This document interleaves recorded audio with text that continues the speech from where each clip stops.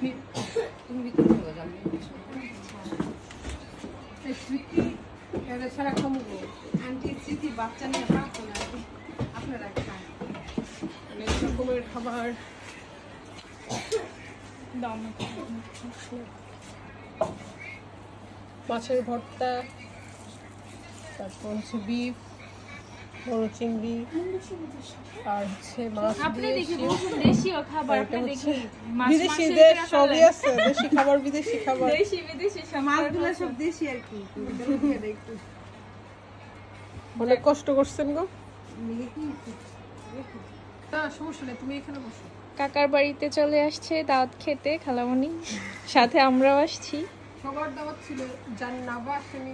হুম, আম্মু। আমাদের জাস্ট পাশের ঘড়ি হুম, অনেক আয়োজন করছে ভাবি। দিয়ে দাও এটা হ্যাঁ।